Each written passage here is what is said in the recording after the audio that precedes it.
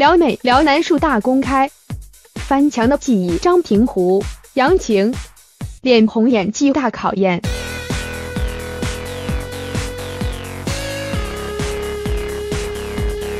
TVBS 女人我最大，未在明晚八分之三节目公开，各式撩妹撩男术，特别邀请到翻墙的记忆演员张庭湖、杨晴、张丰豪，并请小凯老师和吴依林老师担任评审，用抽签方式来配对艺人房思瑜、杨子怡和美，以演技 PK 考验各式男女触电心动桥段。只见这些男神女神使出浑身解数，展现撩人演技。节目中，张平湖、杨子怡甚至因为房思瑜、杨晴的心动撩男桥段，两人不约而同的害羞到当下耳朵赤红，频频傻笑以对。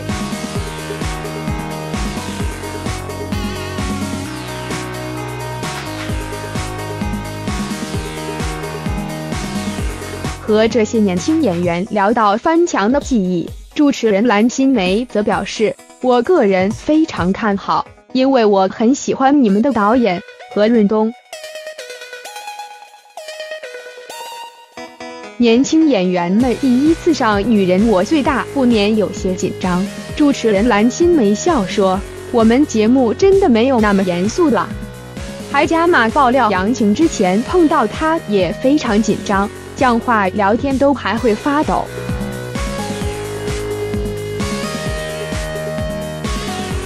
杨晴这次在《翻墙的记忆》饰演帅气又有正义感的女警，但在《女人我最大》中为了挑战辽南演技，特别双手捧住杨子怡脸颊，还深情对望。没想到，因为两人四目相接，太近距离。让杨子怡瞬间害羞到耳朵泛红，还大喊“很可怕耶”。杨晴眼睛很会放电。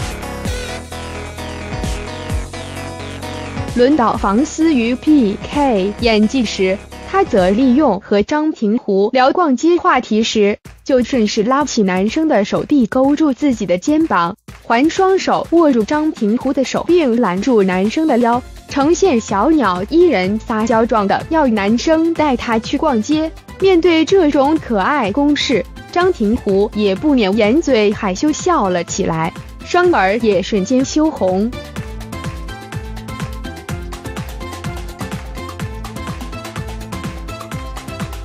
不过，也许是房思雨手臂力道较大，张庭湖边摸住自己泛红的耳朵，边搞笑说：“手有点痛。”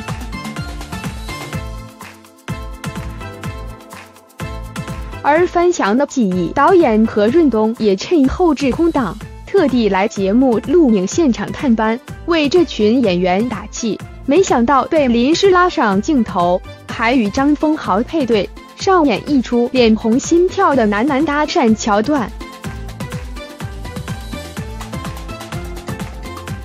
只见张丰豪大胆的启用撩妹话术宝典，直接向导演开聊，望住和说。你知道现在两千零十七跨到两千零十八，我还差了一步吗？就是你出现在我的户口名簿。只见何润东一脸傻眼猫咪样，恍然大悟的说：“原来都用这招哦。”拍摄过程一直在装清纯，